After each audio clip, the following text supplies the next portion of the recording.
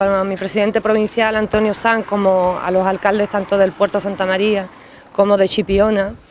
a la candidata a la alcaldía de Sanlúcar de Barrameda, así como al resto de los compañeros y compañeras de partido que están hoy aquí pues apoyando a los ciudadanos de Rota, apoyando a los ciudadanos del puerto, a los ciudadanos de, de Sanlúcar y de Chipiona. Y decir que los roteños nos sentimos engañados una vez más, es decir, en el año 2003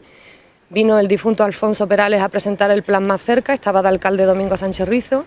y el compromiso que había de la Junta de Andalucía era que el desdoble de la carretera llegaba pues hasta Chipiona,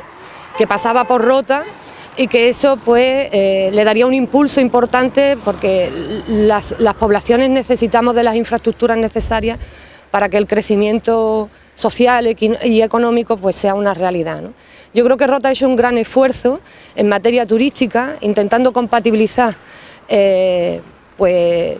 lo que es la base naval como fuente fundamental de ingresos en nuestro municipio, pero también buscando una alternativa al turismo. Y en el turismo hemos hecho grandes esfuerzos, pero lamentablemente, a pesar de tener cada año una de las ocupaciones hoteleras más importantes eh, de la provincia de Cádiz, con un 98% de ocupación, pues nos encontramos que Rota hay que venir expresamente y no, y no contamos con las infraestructuras más adecuadas.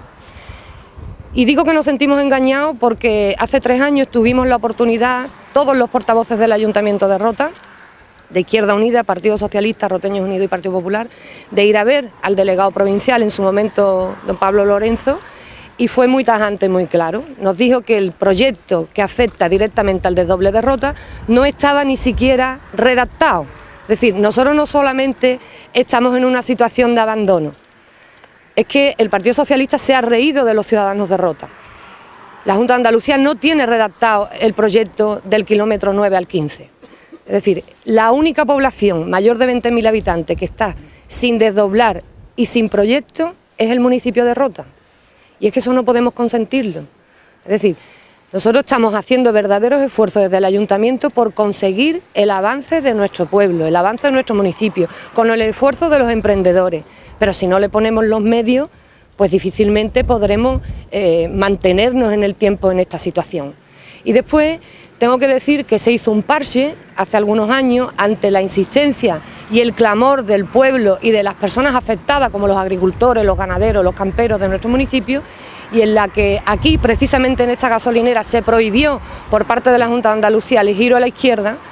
pues se hizo una carretera de servicio que está en pésimas condiciones y que está llevando pues a la ruina no solamente a esta instalación de gasolinera que da alrededor de entre 10 y 12 puestos de trabajo, sino también a todo el sector del campo que está abocado a la desaparición porque realmente no cuenta con las infraestructuras necesarias y un polígono industrial en, proyecto que tenemos por parte del ayuntamiento para el desarrollo ahí detrás que se llama el polígono de las marismas y que evidentemente si no ponemos los medios, si la Junta no pone los medios, pues ese proyecto que es el único suelo industrial que tiene rota clasificado,